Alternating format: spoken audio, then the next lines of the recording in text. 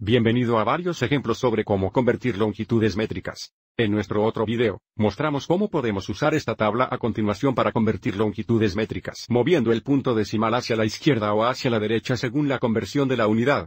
Pero en este ejemplo, mostraré cómo también podemos usar fracciones unitarias para realizar conversiones de longitudes métricas. Lo primero que debemos reconocer es que esta tabla provista está usando el metro como la unidad básica, y, por lo tanto, la unidad más pequeña en esta tabla sería un milímetro donde un milímetro es igual a una milésima de metro. La unidad más grande sería un kilómetro que equivale a mil metros.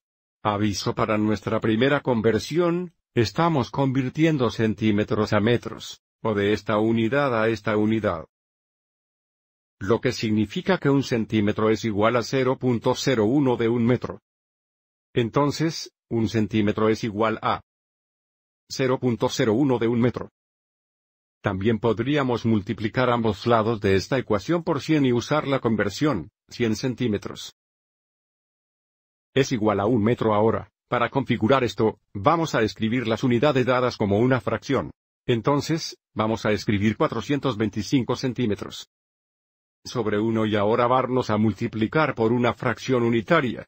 Para que esto funcione, Debemos asegurarnos de tener los centímetros en el denominador para que las unidades de centímetros se simplifiquen, y la conversión será de centímetros a metros.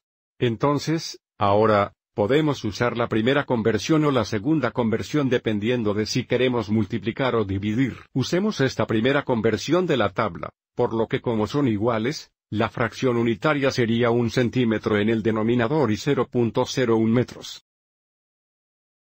En el numerador observe de esta forma, los centímetros se simplifican y este producto nos dará nuestra longitud en metros. Multiplicar por 0.01 es lo mismo que moviendo el punto decimal a la izquierda dos veces. Sigamos adelante y verifiquemos eso. 425 veces 0.01 es igual a 4.25. Por lo tanto, nuestra conversión es de 4.25 metros.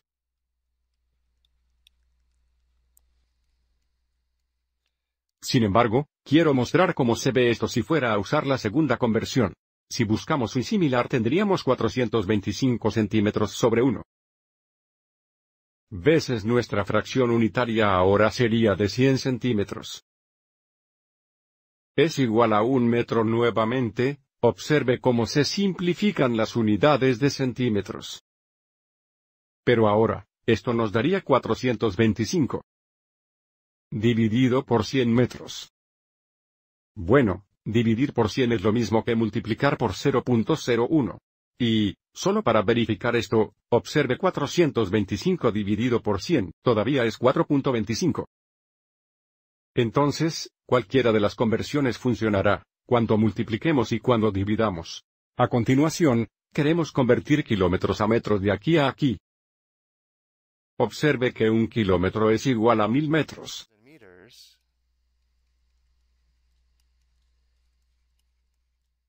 Avancemos y configuremos esto. Escribe las unidades dadas como una fracción. 2.5 kilómetros. Más de una vez nuestra fracción unitaria. Donde, nuevamente, los kilómetros deben estar en el denominador porque queremos simplificar los kilómetros.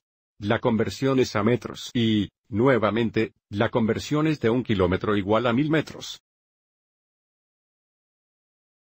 El kilómetro se simplifica y este producto realizará nuestra conversión. Multiplicar por mil es lo mismo que mover el punto decimal a la derecha tres veces. Avancemos y verifiquemos eso con la calculadora. 2.5 veces 1000 es igual a 2500. Entonces, esto sería 2500 metros.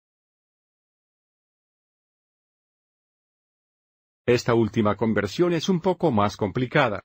Queremos convertir 0,72 hectómetros a decímetros. Debido a que nuestras unidades no involucran medidores, tendremos que realizar dos conversiones.